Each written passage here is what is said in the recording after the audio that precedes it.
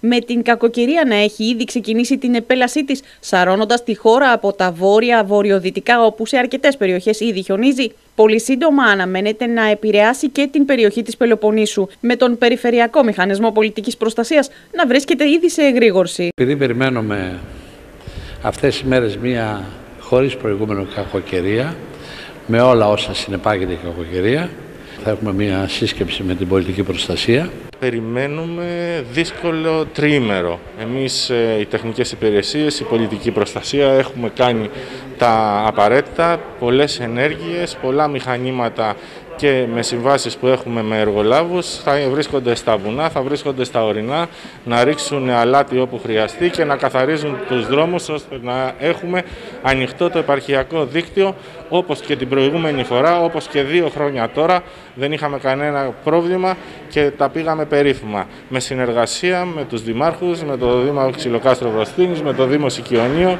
με το Δήμο Κορίνθου, όπου χρειαστεί θα λύσουμε τα προβλήματα αν τυχόν υπάρξουν. Στους πολίτες συστήνεται να είναι ιδιαίτερω προσεκτικοί, μεριμνώντας για την λήψη μέτρων αυτοπροστασίας από κινδύνους που προέρχονται από την εκδήλωση των έντονων καιρικών φαινομένων. Παρακαλώ όλο τον κόσμο να λάβει τα ενδεικνυόμενα μέτρα ώστε και οι ζημιές να μειωθούν και θύματα να μην υπάρξουν.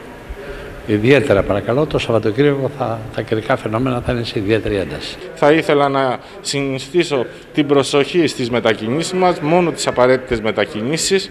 Έχουμε την παγκόσμια πανδημία, έχουμε το πρόβλημα του κορονοϊού που βλέπετε μέρα με τη μέρα τι δυναμική έχει αυτό το φαινόμενο. Αφήνουμε πίσω τους λαϊκιστές, αφήνουμε πίσω την ανευθυνότητα, έχουμε ατομική ευθύνη και φροντίζουμε να είναι ασφαλής η δρόμη μας και οι μετακινήσεις να γίνονται σωστά. Έτσι μετακινούμαστε μόνο για απαραίτητο σκοπό. Οι πολίτες μπορούν να ενημερώνονται καθημερινά για την εξέλιξη των έκτακτων καιρικών φαινομένων στα τακτικά δελτία καιρού της ΕΜΗ και στην ιστοσελίδα της www.emi.gr για πληροφορίες και ανακοινώσεις σχετικά με την επικρατούσα κατάσταση και την βατότητα του οδικού δικτύου λόγω εισρωή πλημμυρικών υδάτων σε αυτό ή λόγω χιονοπτώσεων και παγετού. Οι πολίτες μπορούν να επισκεφθούν την ιστοσελίδα της ελληνικής αστυνομίας www.astronomia.gr. Για πληροφορίες και οδηγίες αυτοπροστασίας από τα έντονα καιρικά φαινόμενα, οι πολίτες μπορούν να επισκεφθούν την ιστοσελίδα της Γενικής Γραμματείας Πολιτικής Προστασίας www.civilprotection.gr.